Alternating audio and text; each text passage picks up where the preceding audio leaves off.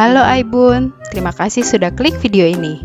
Kali ini, aku mau share beberapa ide main sensory yang bisa Aibun lakukan di rumah dengan bahan-bahan yang ada di rumah dan di sekitar rumah. Seperti yang Aibun tahu, sensory play banyak manfaatnya untuk anak. Di antaranya, untuk menunjang perkembangan otak, meningkatkan kemampuan beradaptasi, meningkatkan kemampuan berbahasa, mengasah keterampilan motorik, dan juga melatih kreativitas. Wah, banyak banget ya manfaatnya ya. Oke, yuk kita simak ide mainnya.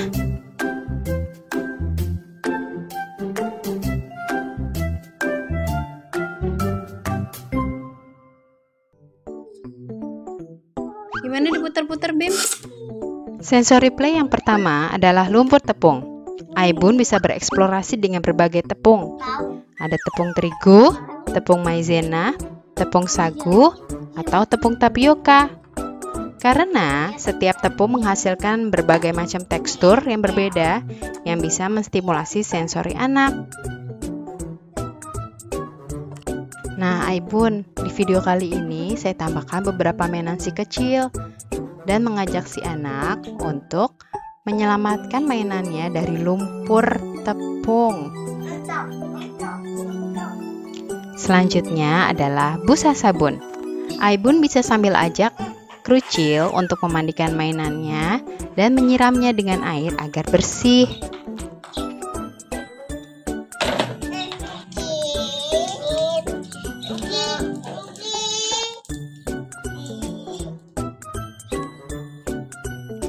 Yang ketiga, bermain sensori menggunakan biji-bijian.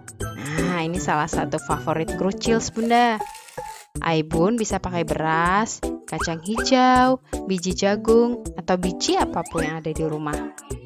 Aibun bisa sediakan sendok dan wadah untuk Krucil belajar menyendok dan memindahkan biji-bijian ke wadah. Aibun juga bisa sambil main pretend play, penjual dan pembeli. Aibun bisa tambahkan pom-pom warna loh sambil belajar warna dengan si krucil.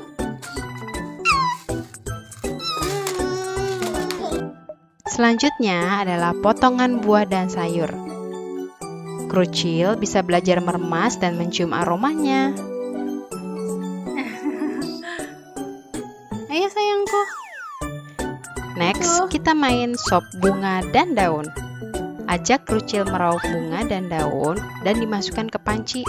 Krucil bisa belajar menyendok, mengaduk, dan bisa sambil bermain peran penjual pembeli untuk menambah kosakata baru. Kok kuahnya doang? Supnya juga dong, bunganya dong. Bunga. Ya, bunga yang warna biru. Belum. Ah, iya pinter.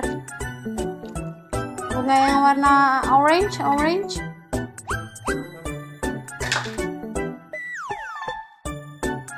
Sensory play selanjutnya, saya pakai ampas kelapa yang sudah dijemur hingga kering dan diberi pewarna. Jadi mirip rumput-rumput gitu ya Aibun. Selain menstimulasi sensori taktil, Krucil juga bisa sambil diajak bermain fokus dengan memasang potongan puzzle yang tertimbun di ampas kelapa itu. Sambil menambah kosakata baru juga menyebutkan nama-nama hewan yang ada di puzzle.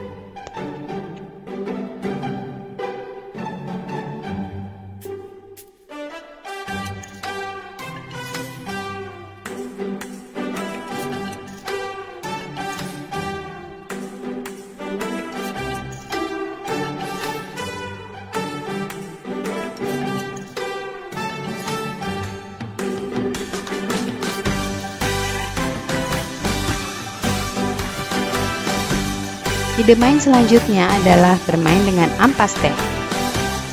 Di sini Aibun bisa tambahkan mainan-mainan yang dilumuri ampas teh dan mengajak si krucil untuk membersihkan mainannya dengan air bersih.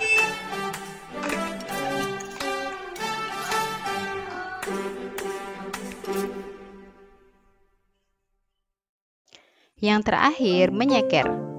Aibun bisa ajak Krucil nyeker di berbagai permukaan. Becek, kering, basah, bisa di rerumputan, di tanah, di batu kerikil yang halus, atau juga di konblok.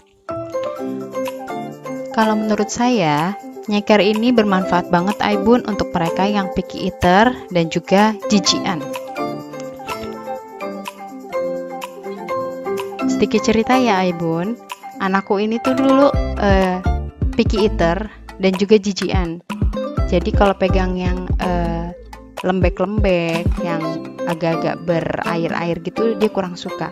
Tapi ya alhamdulillah setelah bermain sensory play ini, dia makannya tuh jadi mau yang uh, berkuah, mau yang lembut-lembut kayak bubur dan uh, lebih uh, banyak tekstur yang bisa masuk ke mulutnya dia.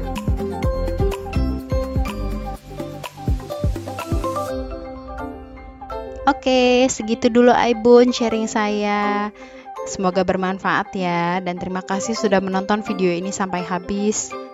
Semoga uh, semangat membersamai Krucil Aibun. Bye bye. Assalamualaikum warahmatullahi wabarakatuh.